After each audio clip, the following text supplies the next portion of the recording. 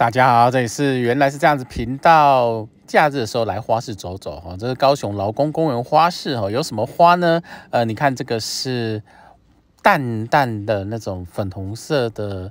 呃，石斛兰对不对哈？呃，现在其实是这一种春石斛兰的季节哈，会一直维持到四月多左右，四月底到五月初左右哈。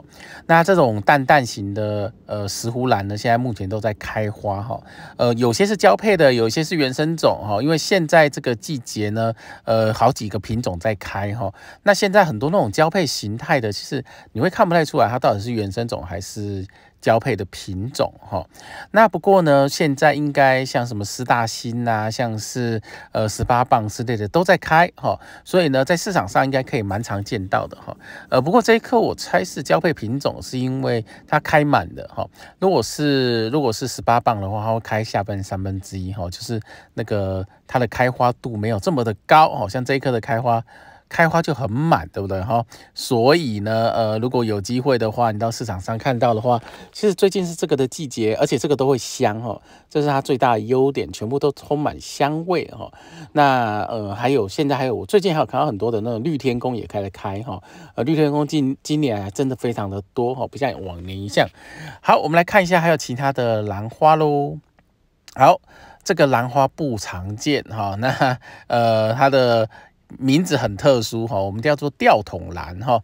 呃，吊桶兰呢是原生种的兰花的品种，原产在呃中南美洲的地方。它刚开的时候是这样子，两颗哦，很像这个。花苞一样的东西哈，那吊桶兰这一类型的兰花呢，它原产是在中南美洲哈，造型因为非常的特殊，所以就被称为吊桶兰，呃，或者是有比较奇怪的名字。好，呃，它那个桶子其实是蛮有趣，它那里头会有香花蜜的味道哈。那这种花蜜的味道，其实呢，它会吸引那个蜜蜂或者是授粉者，然后掉到里头去哈。那掉到里头去呢，它身身上就会沾满的花粉哈。那当它再飞到其他科的时候呢，它就会把这个花粉送到其他科的呃吊桶篮里面，然后就产生授粉的动作哈。所以你看那个特殊的形状跟特殊的造型，这是演化下来的结果哈。好的，除了吊桶兰之外呢，像这个是异醇兰系列哈，呃，这个在市场上比较少见哈，真的我很少看到这一颗异醇兰。好的，我们来继续看其他的兰花还有什么呢？好。这一类型的兰花其实是石斛兰系列哈，那你只要看到这种呃茎上有带有那种黑黑的毛哈，我们都称为黑毛石斛系列。那黑毛石斛系列呢的原生种不好种哦，不过交配种其实现在在市场上还 OK 哈。那这一类型的有很多种很多种颜色，大部分是从泰国那边进来的哈，那大部分都带有，你看它它的茎上是带有黑黑的毛哈。因为我们这称为黑毛石斛系列，其实黑毛石斛系列有很多好看的品种，问题是很多不好种，特别是原种不好种哈。所以如果你要种植的话，种植这一系列的话，呃，多多少少要考虑一下它这一类型的呃形态或者是好种不好种的问题哈。因为黑毛四五系列就是。以前都是属于高山型的品种，呃，平地呢相对的太热哦，对黑毛十五系列是非常非常不友善的哦。简单的说就是很难种啦哦，概念就是这样子哈。好，我们接下来看其他的兰花。好，这个是金钗石斛兰哈，呃，金钗石斛兰现在正是花季哈，就是 Nobilia 哈 d a n g e r b i a Nobilia，呃，Nobilia 这一系列呢，其实现在正在开哈，那。这几年比较有趣的是，Nobilia 这一系列呢，很少看到正常版的，比较常看到这种这种版本的，好像这一颗开得很开，呃，它这种变异版的也有不同的。个体哈，不同的个体是那个花开不开得起来哈，差蛮多的哦哈。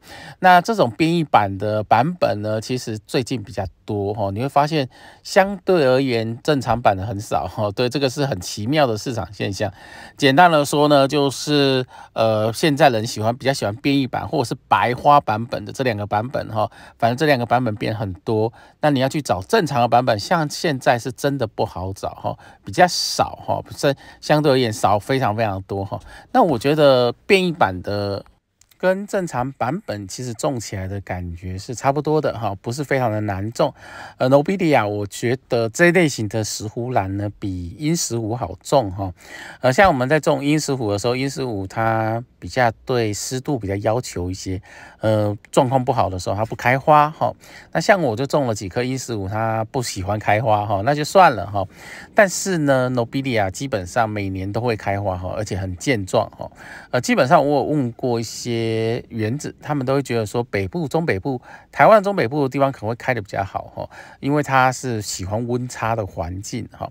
像在南部，大家都开零零散散的为主哈，就是它没有开的那么的密集哈。那但是其实呢，Nobilia 我觉得是一个非常好玩、非常好漂亮的呃石斛兰哈。呃，原产地呢，我去看过那个原产地的书，他们会把它种在那个大石头上面，这非常有趣啊。当地在种植的时候，不是种在树上，是种在石头上哈。就大颗的石头上，好，我们来看其他的兰花。好，这个是初意的兰花，其实这还蛮可爱的哈，就像应该是蜻蜓兰那一类的哈。可是我觉得它的叶翼很漂亮哈，你可以看它叶翼是外框呃黄色的，中间是绿色的哈。呃，叶翼这个东西其实非常有趣的地方是。最早他们在播种子的时候，或者是做主培的时候，有可能产生的变异哈。那这个变异呢，可能是随机发生的。随机发生了以后呢，它就会产生很特殊的个体哈。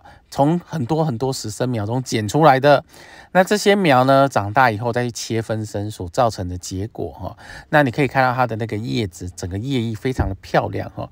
呃，其实之前在蓝展的时候，有一摊的。摊位是专门在做那个叶翼的哈，你会发现他手上所收的品种全部都是叶翼型的品种哈。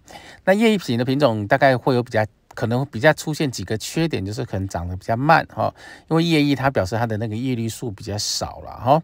好，OK，我们来看其他兰花。好，这个是石斛兰的其中一种哈，那有人叫乒乓兰，哈，就乒乓石斛，或者是呃，反正它的开花其实就是一球一球一球一球一球一球一球的那种感觉哈。那这种兰花就是乒乓那一类型的讲法都是。简单来说，都是用外形去决定的哈。